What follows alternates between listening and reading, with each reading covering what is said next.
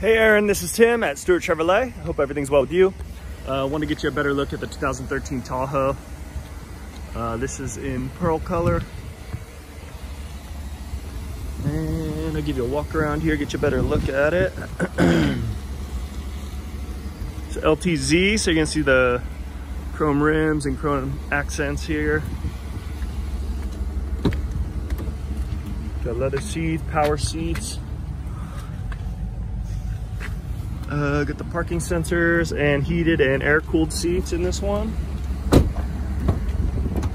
Captain's chairs in the second row.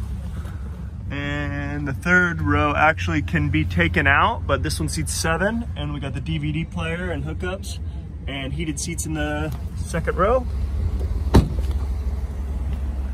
Parking sensors and the trailer hitch in the back. Hands-free lift gate we got the third row removal like I mentioned.